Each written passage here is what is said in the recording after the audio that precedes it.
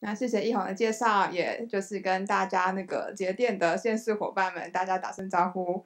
那就是其实参加新节电运动这件事情，我们也都参与了很多年。那我刚刚在扫射说，哎，现场有没有大家认识的伙伴啦？就是还存活在这个 单位里的，应该这么说，就是因为节电这件事情不好做。那像我是环保局，所以我们在推节电的时候，大家就想说。哦，要环境保护啊，这样子感觉很沉重，道德压力非常大。那是不是就因为要这样牺牲生活品质？所以我们在宣导的这个时候，我们的志工伙伴们，就是婆婆妈妈们，总是都会跟我们说：“我今年夏天都没开冷气，我都很热，一直吹风，这样子好像都很节电。”对，可是这是真的我们的未来的生活吗？其实我们倒不这样觉得，因为不知道大家有没有在找房子的经验啦。不管是租房子、卖房子、买房子，对这件事情，在我们在看房子的时候，有没有注意到节电这件事情？其实我都一直很希望跟期待。然后呢，有了房子之后，家里的装潢，不知道大家 有没有开始面临到这个阶段？装潢的时候有没有机会让自己家里比较节电？我觉得这也是一个未来大家应该都当做基本常识的一个一个课题了。所以为什么今天我们的这个题目是这样子？我们说大好奇要酸好处，这个概念就是觉得，哎，大家都住在一个很美丽的县市里，不管从北到南，我超喜欢各个县市到处去旅行的，因为我觉得台湾很美丽。但是我们在这样子自己的县市里面，我有没有一个很棒的房子，让我觉得，哎，可以很轻松的购入，我可以住在里面很轻松，而且我也不用再担心我的能源支出费用。大家如果当开始关心国际趋势啊，可能会开始看到一个名词叫能源贫户。这件事情就是因为有些国家他们的能源在喊再生能源政策的时候，导致他们的费用开始变得很高，所以会有一批人他们未来缴不起电费单，然后宁愿关掉家里的暖气或冷气，这样子导致因为影响到了自己生活品质。我觉得这件事情政府单位应该要负起很大的责任。那也是因为这么说，所以在现在的台湾这个阶段，我觉得大家可以开始想想看，我们怎么跟我们自己这个县市的居民来做沟通。那所以也就是我们今天这个报告的这个题目。那我今天这个简报大纲呢，就是我会从社区公社，然后家户，有了这两件事情，我的基础，我们才有办法发展出我们的节能一号宅的这件事情。那为什么选了右边那个北投市立图书馆？是因为想说，哎。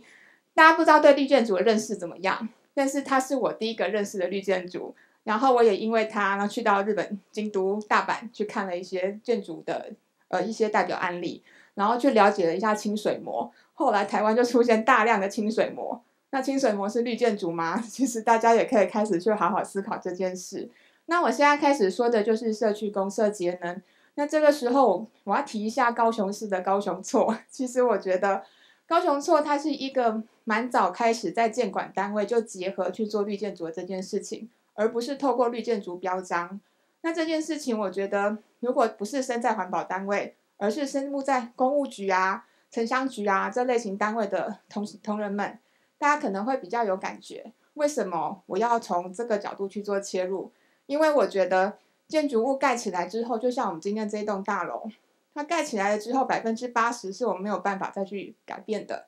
剩下的百分之二十，我们再怎么努力，但是它的节能效果确实是有限。所以我们要怎么去改变？那我这个单位蛮特殊的，我从九十七年成立到现在，其实我从那个时候就开始待着。我们一直在服务不同的建筑物的对象，包括社区啊、学校啊，或者是医院、旅馆，这些都是我们接触的对象。我们今天导入的 其实是以家户为主。所以我讲的是社区公社如何节能。那我们这个社区公社的节能方式呢？因为毕竟我们的沟通单位是环嗯管委会，所以我们用了一个社区的标章认证这样子的概念，就是有了一个方向性。我们有六大指标，告诉大家六大指标怎么做，做了之后做得好，我们颁给他不同等级的标章，从银鹅、金熊到白金。所以我们到现在累积了一百三十九个社区。可是标章认证这件事对社区来讲，管委会的大家都是无给值，都是义务性帮忙。那他们要怎么办？去说服社区的区全会同意他愿意去动用社区公积金去做改造呢？这个时候，我们导入了节电诊所。这个诊所有点像刚刚科长那边所介绍的一种能源服务业。我们确实是专家，进去看他们的抽水泵谱，进去看他们的电梯，进去看他们的灯。看完了之后，我们会给一些专业的报告。那这个报告，我们担心大家看不懂，也不知道怎么去判断要花多少钱，所以我们用了市场上的价格去帮他算。如果说它本来不是 LED 灯，当它要换成 LED 灯的时候，我们算了整栋社区的每一只楼梯有几只灯管，我们从他们建筑呃社区里面的建造图，把图打开来看，直接算灯管数，算出这样的数量给社区看，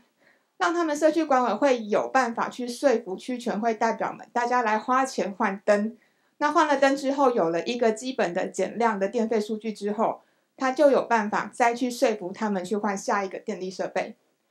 那这个节电诊所。有了一本报告书之后，假设管委会只有一个人说“我愿意，我愿意做”，其他人都保持的观望的态度，那他怎么办？所以我们就培训了一群规划师，我们累计到现在两百九十位。这些规划师同样是免费服务，陪着社区去开区全会，去开管委会。就像我现在，假设我就是规划师，然后面对着住户们，各种提问我都要回答，我陪着社区去回答各类型跟。要去改造有关的问题，为什么要这么做？因为我们的规划师知道我们的申请文件怎么写，我们的规划师陪着社区知道社区里到底什么东西要改变，我们的规划师看得懂节电诊所那本报告书，而不需要委员们再去 网络上搜寻啊，或者是去做猜测，或者可能还要跟原本既有管委会 原本在服务的一些机电师们在搏斗，就是类似说。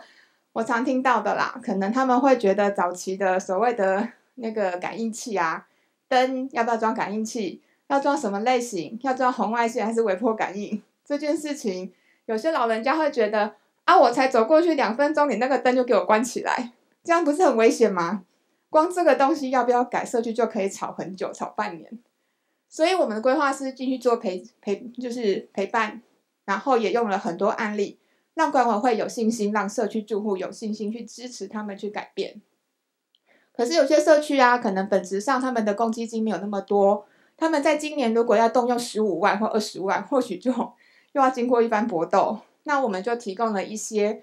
比例在五十 percent 以下的，最高五十 percent 的这样的补助，让社区来做申请。那申请完了之后呢，有些住户如果还是有疑惑，我们的推广中心开课。那这个推广中心其实是跟社区大学结合，为什么要特别跟社区大学结合？因为社区大学本来就在开课，那他们就会比较有一些沟通的语言，可以让他们知道说，哦，原来我们的再生能源是个什么东西啊？原来我们的 LED 灯的好处是什么啊？类似这种方式，而不是像我们用 政策宣导啊这种文绉绉或者是专业名词去想要说服他，他会觉得你应该是在骗我吧？你又没有实际使用经验。所以我们就希望去找了一些专家学者，大家真的身体力行过，然后把这样的经验来做沟通。那后面呢，其实我们还搭配了一些活动，就像早期很常推的救团省电，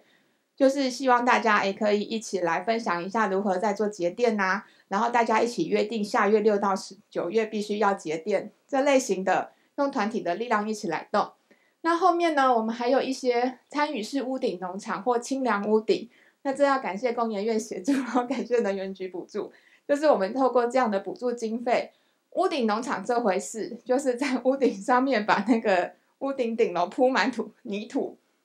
的这回事，其实对于很多人来说，担心植物会串根，担心会漏水，担心很多有的没有的。那但是我们的方式就是，假设你的社区有这样子的环保意识，愿意做的话，我们带着你一起做。我们真的从那个旁边的那个围板啊，用铁木啊把它弄出来，然后还有我们的主根布啊，或者是我们不透水布一层一层铺，还有我们的隔热垫一层铺，还有铺土要铺十五到二十公分。我们还特别告诉大家，你必须要用发泡炼石，而不要真的去挖你你那个 一般土地的填土啦。因为很多老人家知道说我知道怎么种，然后结果呢搞的那一块。我们还必须把它带走，把那块土再挖走，然后把发泡炼石补回去。要反复的不断沟通，然后不断让大家学习在屋顶上种菜啊，不是在一般地面种菜那么容易啦。虽然我知道怎么种，可是他知道菜虫怎么抓，但是不知道不一定知道水要怎么灌，怎么浇菜才会活。那但是经过我们辅导，跟着他一起做、一起设计的这些社区，其实还有社区种出西瓜，然后我也觉得，哎，这个蛮厉害的，屋顶上可以种西瓜。好，那另外一个是清凉屋顶，清凉屋顶反而是大家比较实际上需要运用到的，因为很多大楼在盖好的时候，屋顶会漆隔热漆。但是大概十年，我们自己遇到的状况，大家都是第十年就想要来申请，因为它的隔热漆开始有一些裂痕。那那些裂痕，他们去找了专业的防水师傅来，就跟他说：“哦，你那个要整个全铺啊，大概三十万不等。”那大家就好奇了，那我到底要做到什么程度呢？那我做了防水之后，我还可以有什么附加功能？那所以我们的清凉屋顶的目的是希望大家在做防水的时候去加强它的隔热性，所以让顶楼住户呢，它可以先有一些简单的隔热，用隔热之后来降温。那好，也可以有这个防水功能之后，接下来我们就欢迎他来做参与式屋顶农场。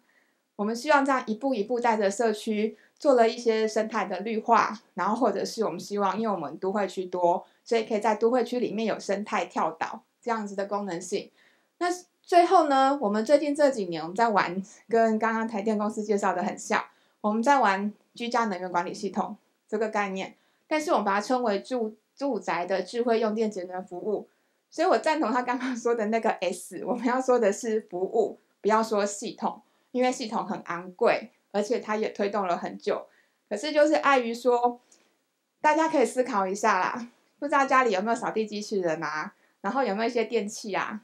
这些是确实好像在家里希望那个手机遥控就可以动的，但是其他的灯啊，然后像投影布幕啊，或者是我们家里的冰箱啊、冷气这些的，诶，真的有需要那个用到手机控制吗？其实我们觉得有时候太过的智慧化的这些设备来说，希望都是帮助，而不要变成多了一下耗电的工具。那所以我们有了这些成果之后。作为我们在社区公社上的一个呃累积，那累积之后呢，其实这是我们的顺序，然后下面是我们的诊断报告书跟我们诊断书的摘要。那其实今天来很高兴工研院的邀请，那想要跟各位节电伙伴们，希望大家一起来努力，因为我希望可以让大家大家这个时候一起来累积一些大数据，这个大数据非常重要，就是因为。像我们自己的经验，我们新北市现在去辅导社区的时候，我们第一步一定会去去请社区调整公社契约容量，这件事情真的非常重要，因为建筑师或者是机电呃机电技师，他们在协助计算的时候的第一时间跟台电申请的契约容量不是很准，它是依据他们的这个住户跟他设定的住户需求去计算出来的。那这个数据呢，跟实际进去住的人他的使用习惯，总会有点落差。那这个落差呢，在社区的公社契约里，因为它跟台电是签契约，所以会有所谓的契约容量。那这契约容量有算费用，所以当你超过也会被罚钱啊。你用不够有没有觉得很亏？所以我们都希望社区管委会，当他在第四年的时候。因为应该四年入住的都差不多了吧，可以超过五成六成的，而且应该都电器设备大部分都开始有在运转使用了，这个时候算是一个稳定的趋势了。那可以去跟台电重新洽谈一下契约容量要签在什么数字上。所以我们的节电诊所第一时间一定会去拿他们的电费单，开始来试算，试算之后告诉社区说，哦，那我觉得这个还算合理。那我发现其实台电公司也有提供这个服务。所以我们可以鼓励社区可以先去检查一下契约容量对不对。那接下来就是什么灯具啊，或者是一些呃隔热降温的措施啊，或者是他们对于一些设备的使用习惯，希望大家开始来做调整。那我们把这样子的建议都透过报告书的方式直接送给社区看，希望管委会可以慢慢的依照他们的财力或能力来做改变。所以这是我们的节电诊所到现场的状况，他们会带着照度计，如果要看灯具，他们就用照度计，用数据科学数据告诉社区。因为其实现在大数据资料库很容易查到很多讯息，所以我们都会利用科科学工具来佐证。因为大家会觉得数据科学数据会讲话，我们平常在讲的经验传承啊，这些有些不是适用在每个地方，但是用数据用规范，这是对我们呃，我觉得啦，对公务人员对政府单位来说，是给社区一个比较容易信服跟参考的科科学数据。那一地下室停车场啊，或紧急照明灯这些地方，这些地点我们刻意挑选出来，是因为目前我们的新北市的社区，我们都请他们这些地方一定都要用 LED 灯。那在我们的建造审查的要求里，其实也都要求了公社区域都要使用 LED 灯。那这样子的方式呢，就是我也想告诉大家说，鼓励大家，我们收集了数据之后，其实是可以横向联系的。跟自己市府里的其他单位在做一个比较高阶的管控。高阶管控的意思就是，我们请他们在建造审查的时候直接做要求。这个要求不是我们政府单位要花钱，而是建商他本身就应该要选用比较节电的设备给住户使用，而不是让住户入住之后才要跟政府申请补助经费去改造。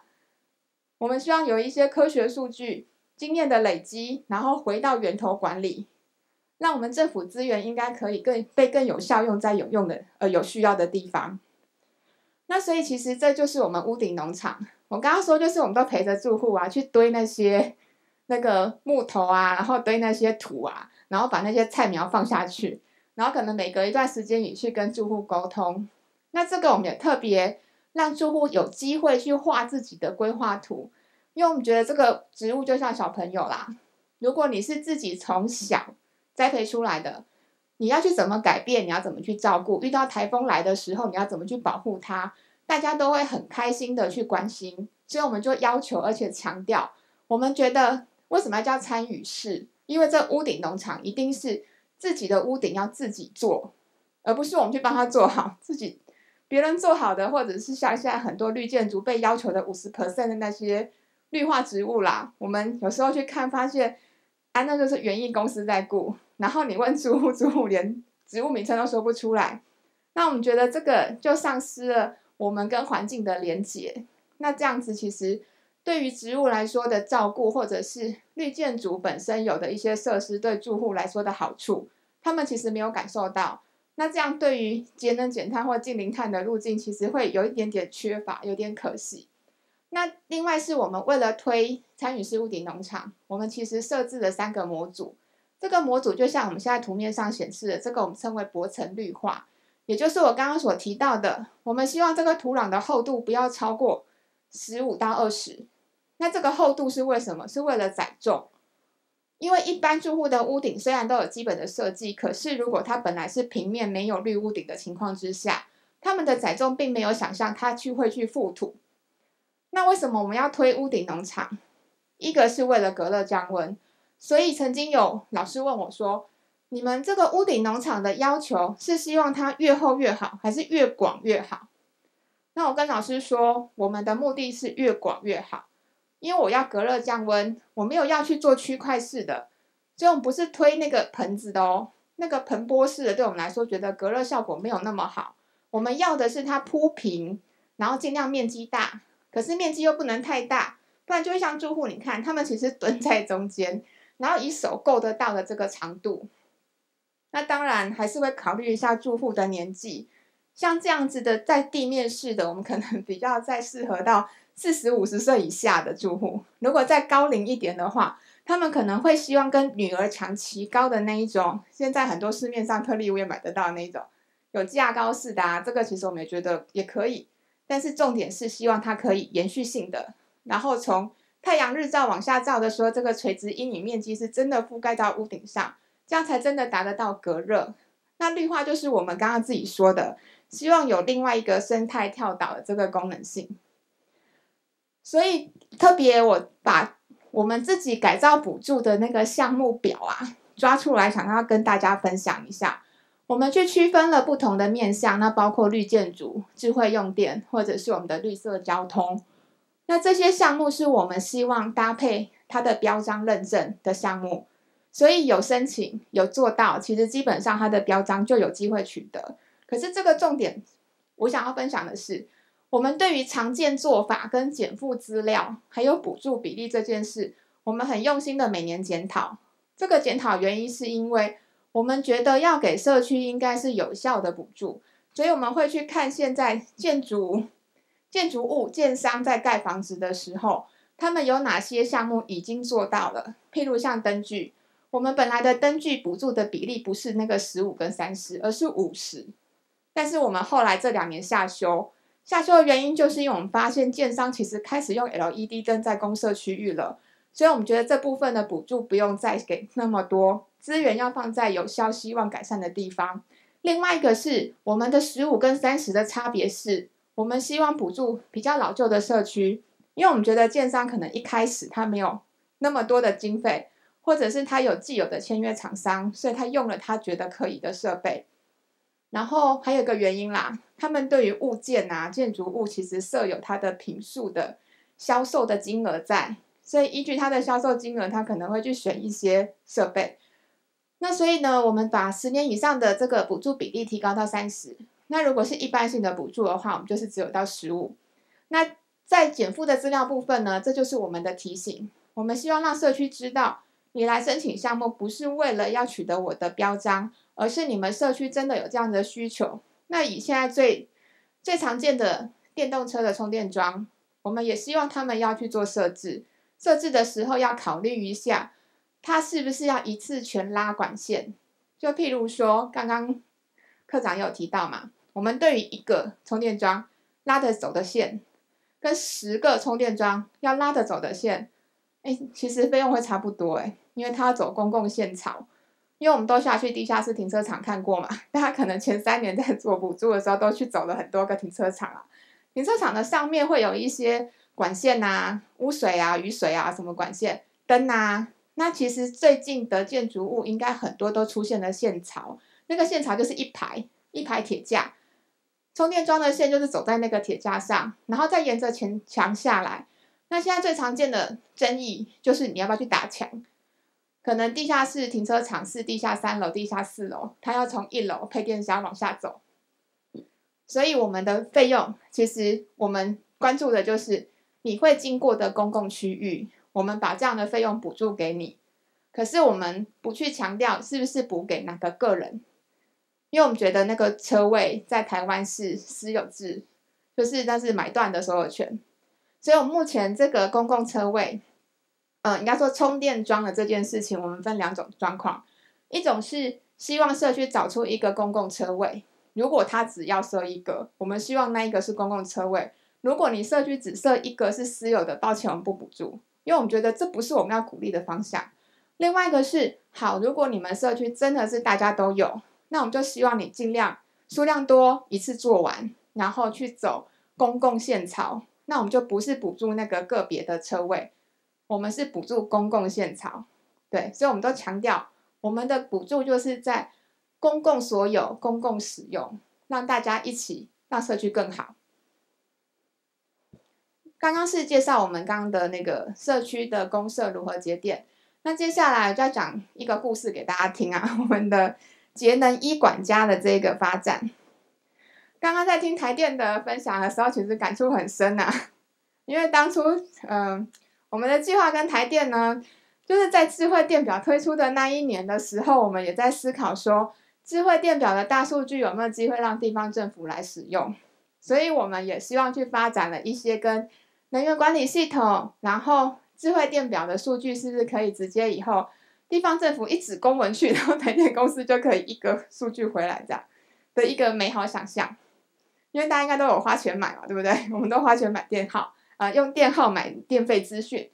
好，所以呢，因为台电公司说它受于一些法律的限制，我们也确实了解也认同，所以我们就发展了一个智慧用电的指纹图谱技术。那这个技术服务呢，其实这源头我们是有跟台电公司合作的。那因为我们还是得知道智慧电表里面长的是什么样子，所以我们跟台电公司合作了。然后利用我们新北市的一些家户的场域，因为我推低碳社区那么久了嘛，所以我们就找了一些愿意合作的一些社区住户，在他们家去装扣表。那这个扣表就是像刚刚课长所说的，NILM 是后来发展的技术，非侵入式的一些设备。那其实它的差别就是，你家的电配电盘有没有需要被打开，有没有需要被装一个微型电表的设备，然后你的电器有没有每一个电器的插座插头上面都要装一个感应器跟接收器。其实这是大家现在在推能源管理系统里面最常遇到的一个抉择。有没有希望说每个电器你都要控制？那你就必须要有接收跟控制。那我们这套设备呢，其实它比较像是进化版，就是我们不一定要求每一个电器都要被控制，可是我们希望电表的资讯，我们可以知道每一项电器的被使用情形。我们在配电盘上面扣了一颗 CT 表，微型电表之后呢？它透过电流的应用，透过资料的分析，这一颗替代智慧电表的功能。所以我们的家户不一定是装智慧电表，而是从总电盘扣了 CT 表之后呢，它的资料就会呈现高低的变化。那这个微电压的变化呢，我们用演算法去算出来，算出来之后，其实我们就可以去分析跟了解。这是哪一台冷气在哪个时段的用电，它就会出现一些幅度跟强度不同的资料，我们就会取得用户里面这样子的一个资料别。那如果用户想要去控制电器呢，我们还是一样可以提供。我们用所谓的用电控制器，也就是它真的还是得装在那个 电器上面啦，因为它想要控制嘛，那我们就一样就让它有这个控制的功能在。那有这套设备呢，我们把它称为这是一个节能一管家的智慧用电节能服务。那这个服务我们提供了三项主动式功能。我们第一个会日常用电追踪，第二个家庭能源记事本，第三个用电管理。第一个就是大家希望可以看到的，我每天的用电行为。我今天如果觉得我有比较节电，我有真的节电吗？我们的服务平台的资料 App 一打开，马上告诉你。那这个工具我觉得很有用的原因是，我们以往啊进入户做宣宣传的时候，我们跟婆婆妈妈说啊，你那个冰箱不要买太多东西，你记得冰箱不要常开，你那个冷气要设定在几度到几度。这些话说说，可是有实际数据呈现吗？其实要两个月之后才知道。那但是现在。我们有了这套设备之后，我们的入户曾经有两台冰箱，也就是两个民众同样的李明，他们的冰箱刚好买同款，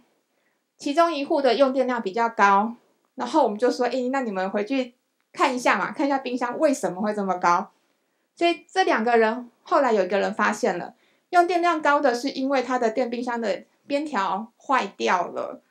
哦，嗯，因为这件事情，所以那个李后来非常踊跃的支持我们这个活动，因为他们觉得，哎，真的有用哎，而且是真的有帮助，也知道验证一下自己的节电行为有被激励到了，因为他做了正确的节电行为。那我们也觉得这件事情很重要，因为毕竟我地方政府要常常对民众宣导，我需要宣导有用的资讯。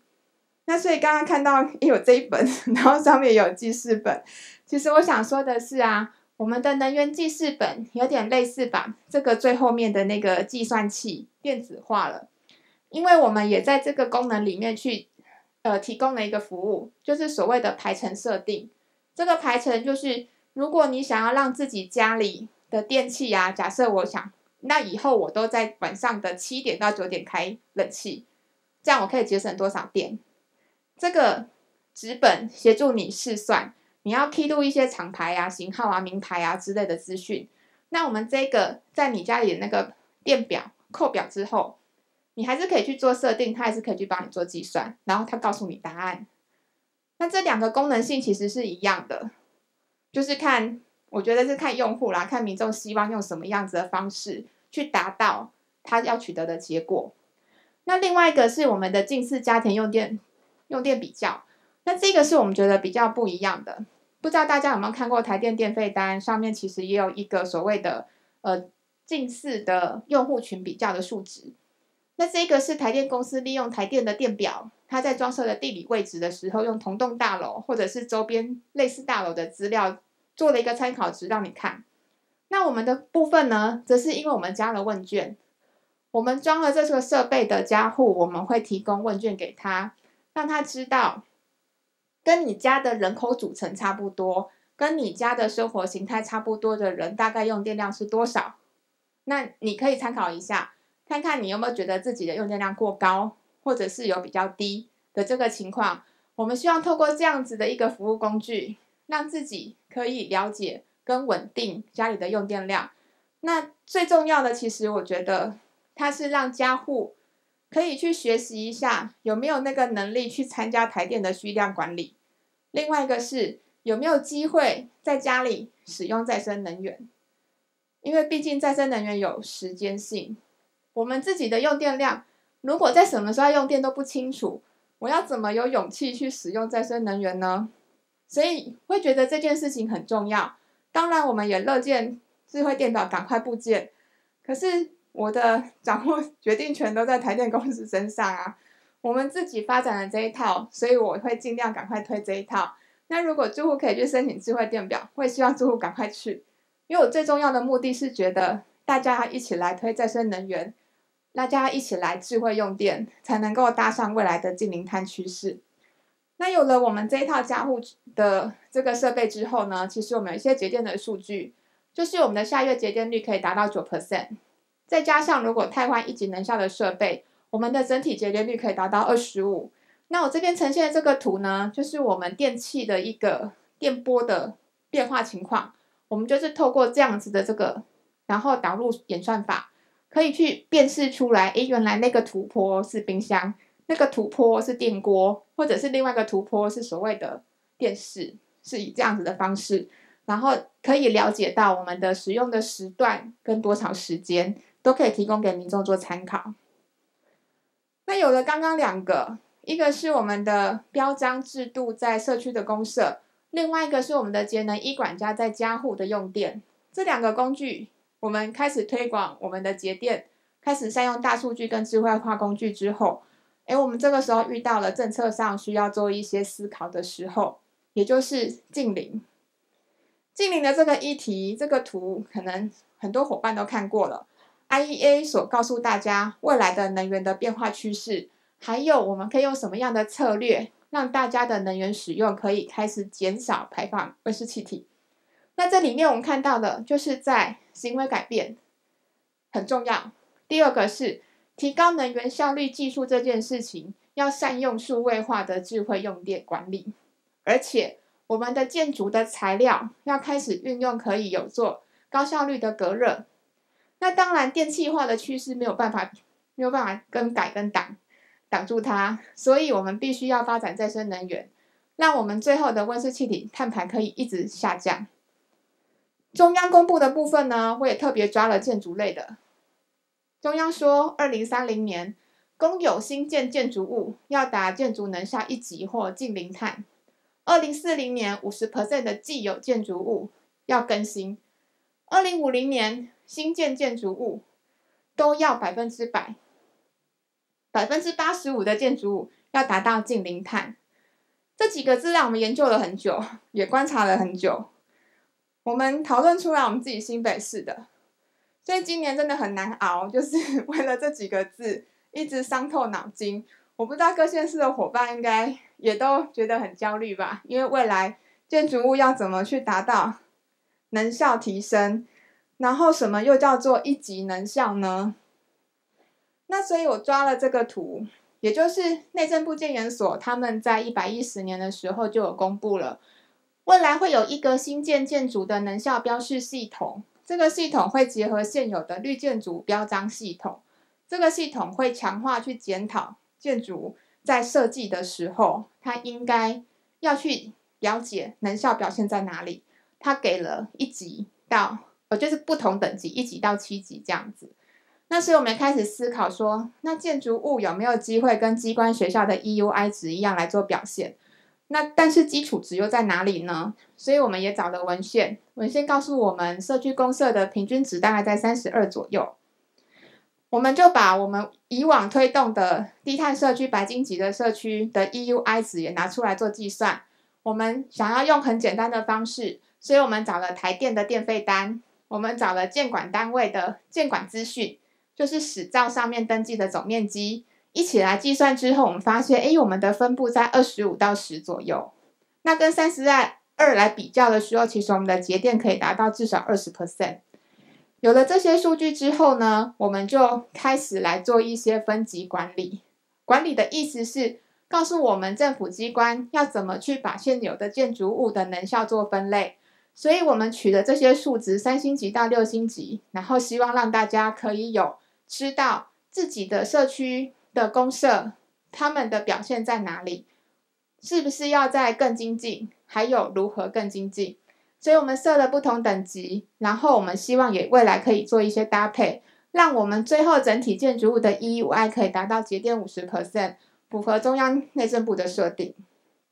那这个设定呢，其实也可以提供给物业公司来做一些能源的检视。那当然，他要做到能源检视，必须要有能源管理系统，针对公社部分的。所以这个我们现在节电一管家的这个服务也开始在做一个一些导入。让他可以先有 EUI 检视，知道公社用电的分布在哪里，然后提供月报，让他可以越来越节电。